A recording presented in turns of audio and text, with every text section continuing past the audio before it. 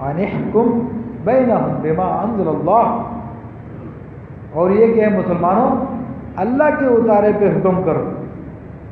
ولا تتبع اهواءهم اور ان کی خواہش پہ نہ چل۔ بہدر ہوں اور ان سے بچتا رہے۔ آئیں یفتنو کا کہ کہیں وہ تجھے لغزش میں نہ ڈال دے۔ ان بعد ما انزل اللہ علیہ کا کہ اللہ نے جو کچھ نازل کیا، اس میں سے کسی حکم کے بارے میں۔ تو بڑی خاص ہدایت دی ہے۔ اللہ کیا فرما رہا ہے، اے مسلمان، تو اس کے مطابق حکم کر جو اللہ نے تجھ پہ نازل کیا۔ یعنی قرآن مجید۔ اور ان کی خواہشات کی پیروی نہ کر۔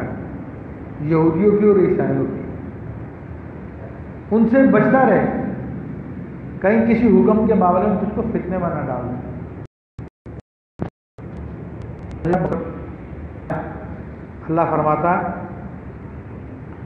کہ فائن طول پھر اگر وہ منہ پھیریں، فعلم انما یرید اللہ ان یصیبہم ببعض ذنوبہم تو جان لو کہ اللہ ان کے بعض گناہوں کی سزا ان کو پہنچانا چاہتا ہے۔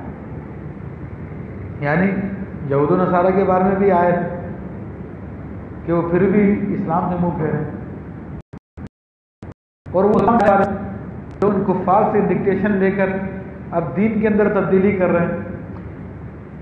اب دیکھیں قرآن نے واضح لفظوں میں کہا کہ مسلمان عورت کا نکاح کسی کافرہ سے نہیں ہوتا۔ تو اللہ فرماتا ہے، فَإِن اچھا فرمائے کہ ان کثیر من الناس لفاسقون۔ اور لوگوں میں سے بہت سے آدمی بے حکم ہیں۔ فاسق کے اکثر لوگ۔ یہ اللہ بیان فرما رہا ہے۔ تو اسلام کے نام پہ ڈرامے بازی بہت کرتے ہیں لوگ۔ اللہ تعالیٰ نے سمجھنے کی توفیق عطا فرمائے۔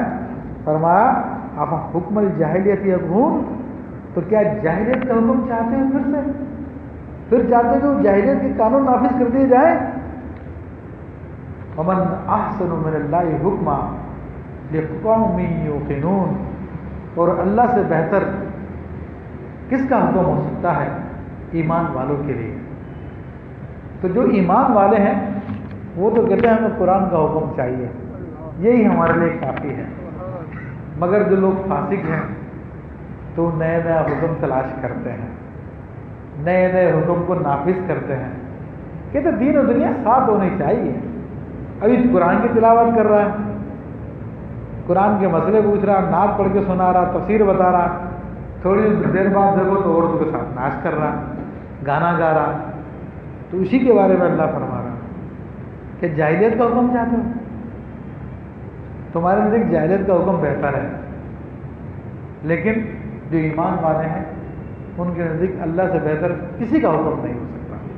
تو اللہ تبارک تعالیٰ سے دعا ہے کہ اللہ تبارک و تعالیٰ ہمیں اپنے حکم پہ رکھے اور جاہلت کے حکم سے بچائے۔ آمین۔ بجائے نبی الامین